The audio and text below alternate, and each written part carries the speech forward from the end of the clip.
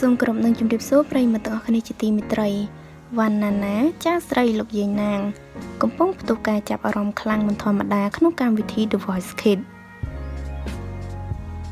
ពិតជាមានការភ្ញាក់ផ្អើលដែលបានឃើញវត្តមានបេក្ខភាពប្រឡងចម្រៀងលំដាប់ថ្នាក់ពិភពលោក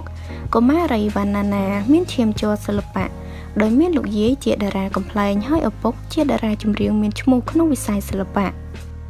កាន់តែធ្វើបានល្អវណ្ណាណាឆ្លងផុតវគ្គសំខាន់សំខាន់រហូតគ្រូបង្វឹកស៊ូវីសា សម្រាប់យកអោយចូលទៅកាន់វគ្គឡាយសូក្រោយដឹងពីទេពកោសលភាពវៃឆ្លាតបៃខណ្ឌនារីឈ្មោះវណ្ណាណា គឺជាកូនស្រីបង្កើតរបស់តារាចម្រៀងវណ្ណាស័កនិងជាចាស្រីបង្កើតរបស់លោកយាយណយសំណាង ដែលជាតារាកំ pl ែងល្បីឈ្មោះបានធ្វើឲ្យម្នាក់ម្នាក់កាន់តែមានការចាប់អារម្មណ៍ចំពោះបេក្ខនារីវ័យក្មេងរូបនេះយ៉ាងខ្លាំងដោយសារតែនាងត្រូវបានគេដឹងថាមានសមត្ថភាពសម្លេងមិនធម្មតាផងនោះបទចម្រៀងរបស់នាងត្រូវបានគេចែកចាយកាន់តែខ្លាំងដែលធ្វើឲ្យនាងត្រូវបានគេមើលឃើញថាទទួលបានប្រជាប្រិយភាពនិងល្បីរួចស្រេចទៅហើយក្នុងកម្មវិធី The Voice Kids Cambodia រដូវកាលទី2 ដោយសារតែមានជីដូននិងឪពុកសុទ្ធតែជាអ្នកសិល្បៈល្បីឈ្មោះចម្រៀងមួយបទរបស់នាងក្រុមចំណងជើងថាបឹងកាវ៉ាន់សូឡូត្រូវបានគេឃើញហើយចែកចាយយ៉ាងគួរឲ្យចាប់អារម្មណ៍នៅលើ Facebook តែម្ដង ហើយអាចឲ្យគណៈកម្មការទាំង3ចុចយកនាងជ្រើសរើសយកគ្រូបង្វឹកសួសវិសាជាកូនក្រុមនាងត្រូវបានគេប៉ាន់ស្មានថា នឹងខ្លាំងក្នុងកម្មវិធី The Voice Kids រដូវកាលទី2នេះ ជាពិសេសនៅពេលដែលនាងចាប់ផ្ដើមផ្ទុះខ្លាំងក្នុងស្រទាប់មហាជន ដោយមិនបានប្ររយៈពេលវែងព្រោះតែមានសមត្ថភាព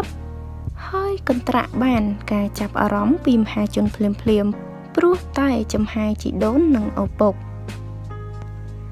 មួយបទបឹងកាវ៉ាន់សូឡូរបស់នាងទទួលបានការសរសើរយ៉ាងខ្លាំង ត្បិតថានៅមិនទាន់ដឹងថាតើនាងនឹងមានវាសនាក្រុងពេលលំដាប់ពិភពលោក នេះឬក៏អត់គ្រាន់តែជុំទី2ប្រកួតច្រៀង3នាក់ហើយស៊ូវីសាជ្រើសរើសយកទៅកាន់វគ្គបន្ត ជាវគ្គផ្សាយផ្ទាល់វណ្ណាណាយំបង្ហូរទឹកភ្នែកមិននឹកស្មានដល់រីឯលោកយាយណាង និងម្ដាយណាណាសាច់ញាតិទៀតក៏យំរំភើបចង្ហោះ គេកំពុងតាមដានថាតើក្របពូជអ្នកសិល្បៈនេះធ្វើបានល្អបែបណាទៀតពេលដែលប៉ះជើងខ្លាំងឯទៀតចាបងអូនស្រីវណ្ណាណា គឺជាចាស្រីបង្កើតរបស់លោកយាយណាង ដែលជាតារាកំ pl ែងជើងចាស់ដែលមានឈ្មោះបោះសម្លេងល្បីនៅក្នុងប្រទេសកម្ពុជារបស់យើងចាដែលមានអ្នកស្គាល់ច្រើនមែនទែនហើយដោយប្អូនមានសមត្ថភាពសម្លេងខ្ពស់ និងជាឈាមជ័រអ្នកសិល្បៈបានធ្វើឲ្យអ្នកគ្រប់គ្រងជាច្រើន មានការចាប់អារម្មណ៍លើប្អូនស្រីយ៉ាងខ្លាំងចាគឺក្នុងត្រឹមតែរយៈពេលខ្លីសោះប៉ុន្តែប្អូនស្រីវណ្ណាណា បានធ្វើឲ្យមហាជនជាច្រើន បានស្គាល់នាងចាអាចនិយាយបានថាគឺឆាប់ល្បីលឿនចា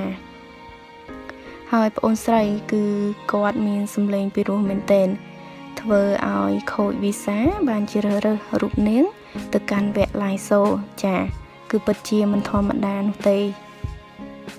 ហើយសង្ឃឹមថាប្អូនស្រីនឹងទទួលបានជោគជ័យនៅវគ្គបន្តបន្តទៀតចាហើយអរគុណច្រើនបងប្អូនទាំងអស់គ្នាតេតទៅនឹងព័ត៌មាននេះដែរក៏សូមបញ្ចប់តែត្រឹមនេះចាសូមចុច Subscribe និងរូបកណ្ដឹងដើម្បីទទួលបានព័ត៌មានថ្មីៗជាបន្តទៀតចាសូមអរគុណសូមជម្រាបលា